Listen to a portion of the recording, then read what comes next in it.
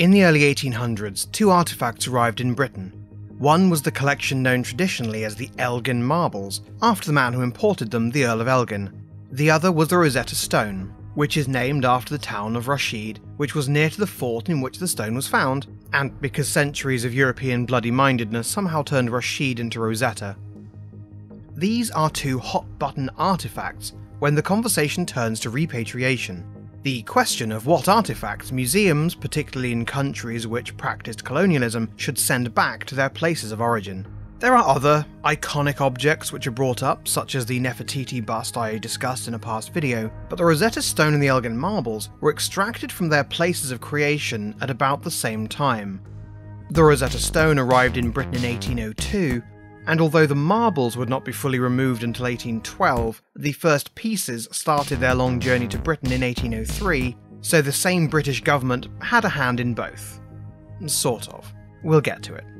Actually, we'll get to it now.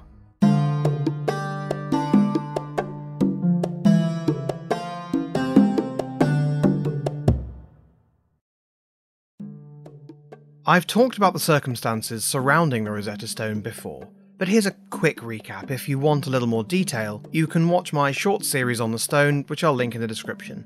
Napoleon Bonaparte led an invasion of Egypt in 1798, bringing with him over 150 scientists, engineers, and artists known as savants to survey, document, and acquire Egyptian antiquities. During efforts to strengthen the walls of Fort Rashid, several stones used in the construction of the fort were found by the French to be carved with hieroglyphs, having been plundered from ancient buildings by Egyptian workers in years past. One of these was the Rosetta Stone, notable for featuring Greek writing alongside the familiar but unreadable hieroglyphs. Recognizing the potential importance of the stone, the French officers set it aside for study. The French would ultimately be repelled from Egypt by a combined campaign of allied British and Ottoman forces. Egypt, though in practical terms fairly autonomous, was an eyalet, that is, a state or a province, of the Ottoman Empire, and Sultan Selim III called upon his British allies to join the campaign against the French, which actually would take place on three continents, with battles in places such as Malta, Egypt, and Syria.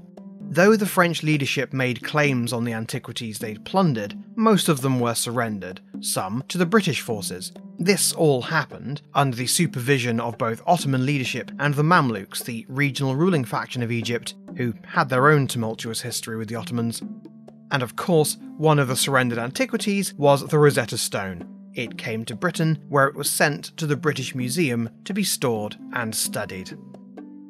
While the military campaign in Egypt was ongoing, in another part of the Ottoman Empire, a man born Thomas Bruce, who inherited the title Earl of Elgin at the age of five from his elder brother, was appointed by the British Crown to be the king's ambassador to the Sultan. Elgin, being a British aristocrat, had a fascination with the classics and keenly wanted to commission casts and drawings of the Parthenon sculptures. By the way, a lot of people, myself included, prefer the term Parthenon marbles to Elgin marbles, even though Elgin marbles is the more common term, so from now on, I'll be calling them the Parthenon marbles. Anyway, when the government refused to pay for Elgin's artistic project, he took up the mantle himself. He was stationed in Constantinople in the Sultan's court when he commissioned the project, and arrived in Athens in 1802, briefly, to inspect the progress and provide more financing. One of his agents, an Anglican priest named Philip Hunt, fearing for the state of preservation of the marbles and allegedly hearing rumours that pieces which had fallen off were being recycled for materials, sought a firman, that is, a statement of formal permission from the Sultan to remove the sculptures for the sake of preserving them the marbles would end up having a terrible time getting to Britain. The ship they'd been dispatched on, Elgin's personal brig, the Mentor, sank near Kythera, and divers had to spend three years recovering the marbles. What's that about it being better in British hands? The expense of the recovery project would prove ruinous to Elgin, along with the divorce suit he filed when he discovered that his wife had been doing some extracurricular plundering of her own. By the time the marbles had been brought to Britain after a three year brining session, Elgin had spent in total the modern equivalent of £4 million acquiring and shipping them. Adding insult to injury, his career as a diplomat was over. Oh, because he'd been carelessly taken as a prisoner of war by France and paroled partly on the condition that he never have diplomatic posting again. The point is, between the scandal from his divorce and the expense of the divorce and the Marbles project, Elgin was done politically, socially, and financially. To help settle things with his creditors, Elgin sought to sell the marbles he'd ruined himself acquiring. Though he did get a more generous offer from Napoleon, Elgin sold the marbles ultimately to the British government for less than half the cost of acquiring and shipping them. Now, it's worth pointing out that the British government were initially reluctant to take the marbles off his hands because there was something mighty fishy about the circumstances of their removal. So, they held public hearings with testimony from Elgin and his agents, including the spy priest Philip Hunt, whom, by the way, Elgin had never gotten round to paying. Elgin produced a translation of the alleged firman giving permission for the marbles to be removed. Always hold on to your receipts, gang, even if they are sometimes dubious. A key passage of the firman reads as follows, though I've cut out some extraneous bits. It is written and ordered that the said painters in setting up scaffolding around the Parthenon and taking molds of the same ornaments be not disturbed, nor in any way impeded by the commandment of the castle, nor any other person, and should they wish to take away any pieces of stone with old inscriptions and figures, that no opposition be made. To this day, no copy of this firman has been found by the Turkish government, so the Italian translation, handily provided by Mr. Hunt, is all the evidence that remains of it. Elgin also made the case that the removal was hardly a stealthy matter. It was done over the course of years, in full view of the Athenian voivod and the military commanders of the Acropolis garrison. Uh, by the way, the committee investigating the matter did know all about the bribery that greased the wheels, but the bribery wasn't a problem legally or really morally. It was nothing outside of standard diplomatic practice, Officials tended to have to be bribed even to do their actual jobs, let alone to conscientiously not do them. It was one of the chief reasons that wealthy aristocrats were commissioned to do diplomatic work. The investigation of Elgin cleared him. I suspect because of documents issued from Constantinople to Athens, which retroactively said, yeah, that's fine. Now, to me, it's a bit strange to have to say, yeah, that's fine after the fact, if you already said it was fine before the fact, but, huh, what do I know? Honour satisfied, the British government took possession of the marbles without criminal charges, without rejecting the sale, and without sparking a diplomatic incident with its Ottoman allies. Even so, it wasn't universally accepted by the British people that Elgin had acted honourably or legally. Now, the legal case was, of course, over. It had been declared lawful for his team to remove the sculptures and ship them to Britain. But many people with an interest in antiquity decried Elgin's extraction of the marbles and the desecration of the Parthenon. The poet, Lord Byron, an admirer of many things associated with ancient Greece, lamented Dull is the eye that will not weep to see thy walls defaced, thy mouldering shrines removed by British hands, which it had best behooved to guard those relics ne'er to be restored.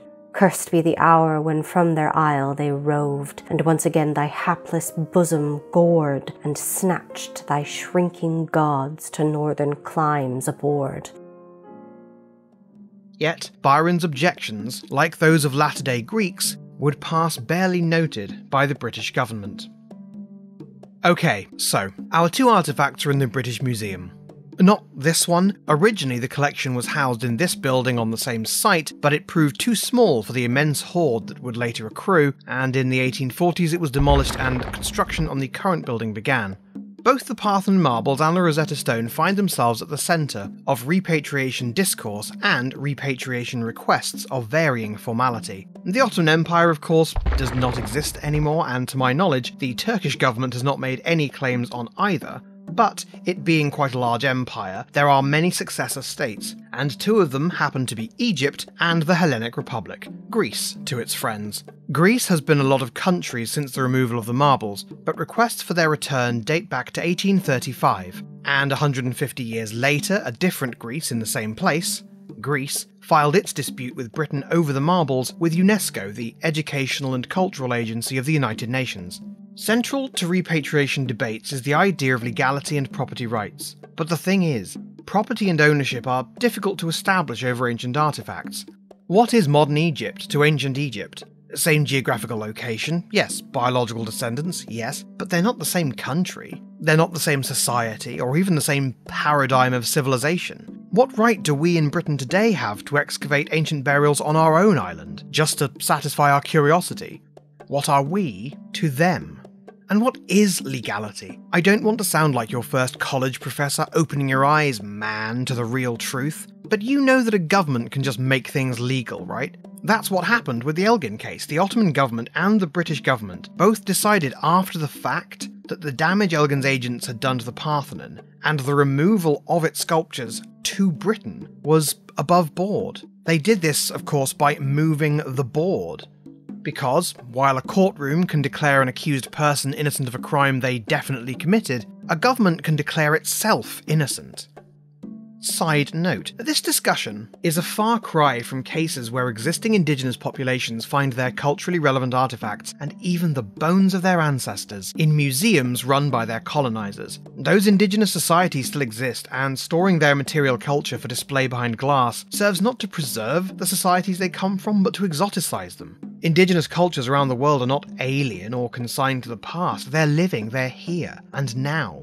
In those cases, it's unambiguous to me. Those sorts of items need to go back, or at the very least be offered back, to the descendant communities. And maybe if those communities are not so disenfranchised in society at large, they might later consent to being featured in museums of multicultural national history displayed in the appropriate context.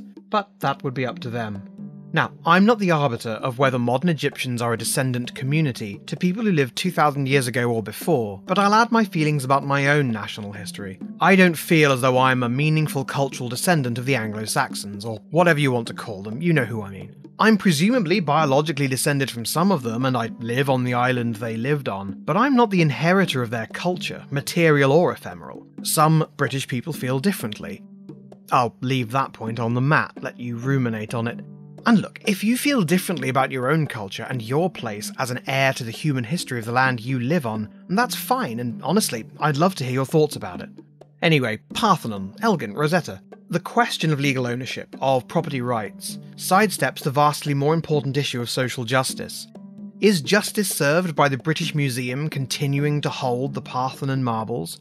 Is it served by flinging antiquities back to their lands of origin? Though, let's be real, that's nobody's actual plan. Also, calling every artifact that ends up in a land not of its origin stolen or looted muddies the discussions of artifacts that were definitely stolen, looted, or otherwise unethically seized. The Benin bronzes, for example. And what if the French forces in Egypt had managed to get the Rosetta Stone to Paris? That wouldn't be even remotely as good a provenance as the stone actually has, even if you think its actual provenance today is dodgy.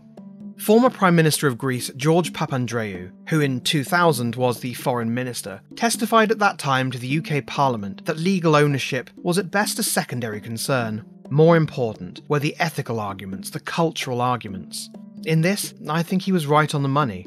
The only cultural value the marbles had to Elgin was that he thought they were nice looking. Remember, he only wanted to sketch and mould them and his overreaching chaplain took advantage of a conflict between Athens' military and civilian leadership to squeak by a highly suspect case for preservation, and it probably didn't hurt that the authority over the marbles was at this time in the hands of the Ottomans, not any Greeks who may have had more of an attachment to the legacy of the Parthenon.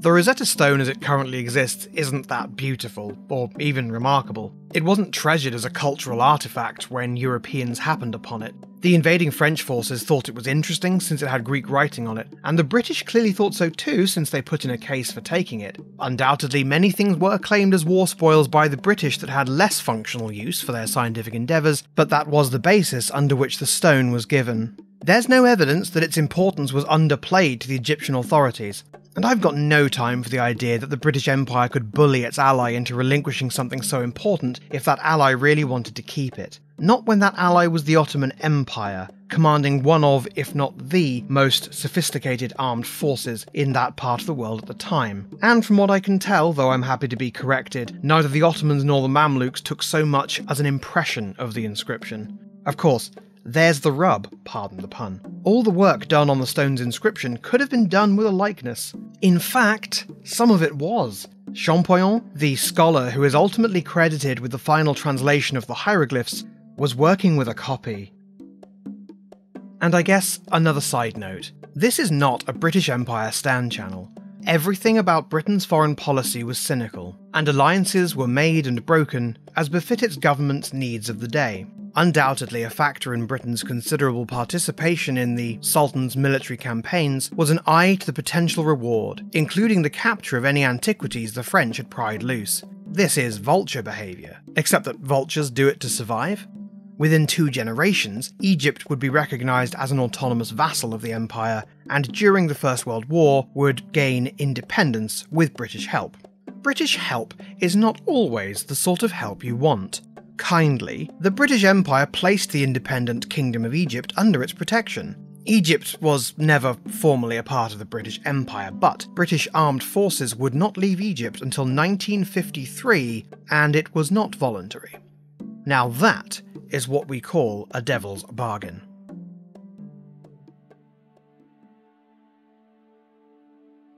The Parthenon is perhaps the symbol of ancient Greece. It's so symbolic of that society, famous for its philosophers, statesmen, intellectuals, and rich culture, that when you search for classical studies or related terms, you'll see images of the Parthenon as often as not. When the Roman Emperor Augustus decided he was fed up with Rome being entirely made of on fire wood, it was the Parthenon that represented the style of architecture he wanted reflected in his new capital city of the known world.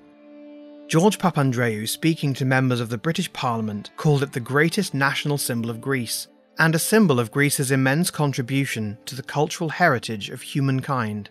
He'd come to the UK in 2000 not to reiterate his government's demands that the marbles be given into Greek ownership, just so that the British government would loan them in time for the 2004 Olympic Games. The Olympic Games, an institution right alongside the Parthenon in the Greek contribution to world culture. The Acropolis Museum in Athens, which was founded in 2003 and opened publicly six years later, has a wing ready to receive the marbles. The sculptors are long gone, their society vanished from the earth, but their creation, beautiful as it is, remains with us. And while I have my qualms about calling the present day Hellenic Republic a successor to that very distant society, why does London have the sculptures again? Oh, yes, because they're beautiful, and came at a bargain. The Rosetta Stone has a different story. In its full glory, it probably was very striking, decorated as stelae were with heraldic gods and solar emblems, but it wasn't valued by the last Egyptians to have possession of it. They saw it as a large piece of very hard stone, excellently placed should a cannon ever be fired at it. Its ancient function is royal self congratulation. Its meaning to modern Egypt is negligible in that context. Even in the late 19th and early 20th centuries, when artifacts were leaving Egypt by the shipload, with government permission, something as unremarkable as a stela with a bland decree on it would probably have been given to the archaeologist's government of origin without a second look, unlike, say, the Nefertiti bust, which had to be smuggled out.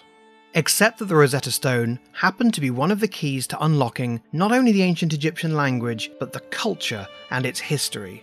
Now, it could have done that at any point between the 7th and 19th centuries, but it happened not to.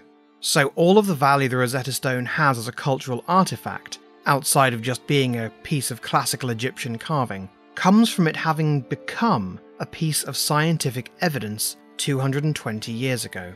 The Parthenon marbles weren't really recovered or saved. Any evidence for them being in danger is fairly flimsy, but the Rosetta Stone could have been smithereened by cannon fire. The French forces who took the fort it was found in had no business being there, no right to rescue or document anything, but that's only part of its story. The Egyptian authorities oversaw its transfer to British hands.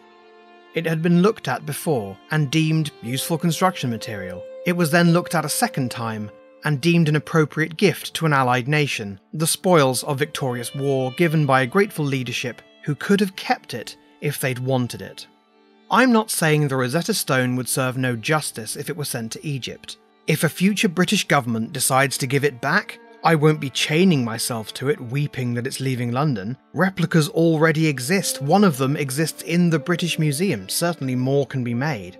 I have an opinion about whether it's a moral imperative to repatriate it, and you might be able to guess what that opinion is, but it's not my job here to just tell you what I think. I've told you its story, and if nothing else, even if you thought the Rosetta Stone should be sent to Egypt before you watched this video, and still think so now, I hope I've at least shown that the stone and the marbles don't have the same story, don't have the same meaning to the respective countries that have made requests for their return. Not that governments speak for their people, or that a population is ever a cultural monolith. I'm getting to the point, maybe I'm even slightly past the point, where I'm just not qualified to discuss this issue more deeply without more research into the current scholarship around repatriation generally, and these artifacts in particular. But my closing thought is this.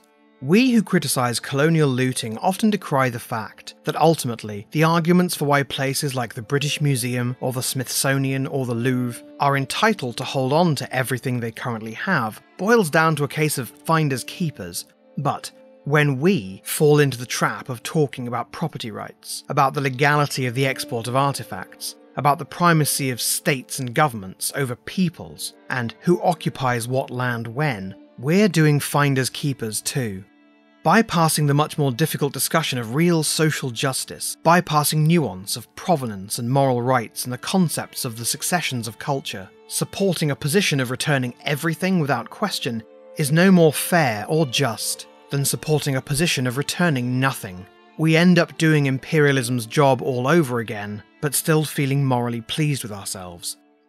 Look, either the world's about to end, or it isn't. If it is, well, we won't have saved it by hastily emptying the British Museum of its Egyptian antiquities.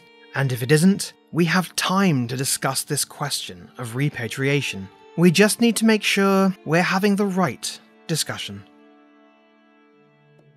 Thanks for watching. I know this is always a controversial topic, and it's been heating up in recent weeks. You know what I always say if you have a different view than mine or think there's something to correct me on, drop a comment. Just keep things safe and civil, and you can disagree with me to your heart's content. You never know, you might change my mind. It happens all the time.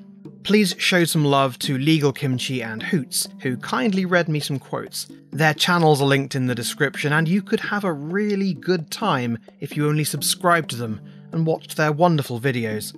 Huge thanks to my Patreon backers for their support Pharaohs Edmund Kybird and Joe, Nomarch Steph, Architects Ken Poyner, Michael Bowman, Photosynthetic and Think Cork, and scribes Carly G, the It You Trash Crew, and Pete. You are the real treasures, and I'd fork out to send divers to rescue you anytime.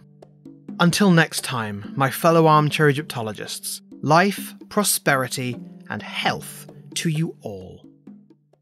Thanks for watching. Head over to my channel for more, or click here to see what the YouTube demons think you should watch next. I hope you'll consider subscribing. If you'd like to support and collaborate on the channel with me, go to patreon.com slash armchairegypt. You can also join my Discord community, there's an invite link in the description.